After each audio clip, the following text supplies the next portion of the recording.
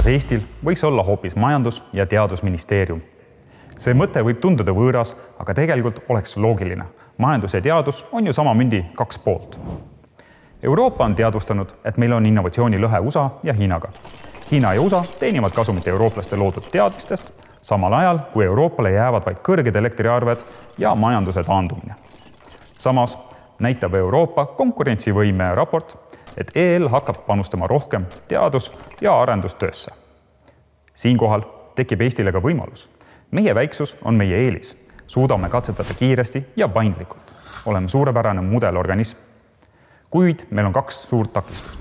targa tellija puudus ja valed mõõdikud. esiteks, targa tellija küsimus teadlased võitlesid mitu aastat selle nimel, et Eesti riiklik teadusrahastus jõuaks ühe protsendini SKP-st. see eesmärk saavutati kuni saabusid kärpekäärid. teadlaste jaoks möödus see kärbe suhteliselt valutult, sest suur osa sellest rahast ei jõudnud teadlastenigi. see jäi lihtsalt riigil kasutamata. siinkohal peab riik leidma viisi, kuidas teadlasi tõhusamalt kaasata. teiseks, mõõdikud.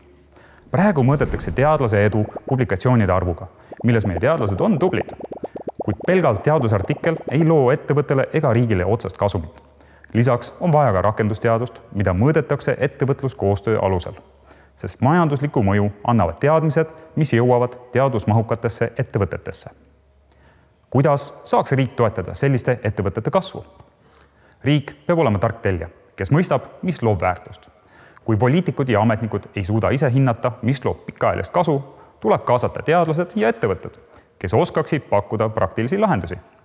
samuti tuleks hinnata teadlasi mitte ainult artiklite, vaid ka nende töö rakendatavuse järgi kui me praegu vastust ei tea, siis otsime lahendust koos. paneme majanduse ja teaduse kokku, alustuseks kas või mõttes ühte ministeeriumi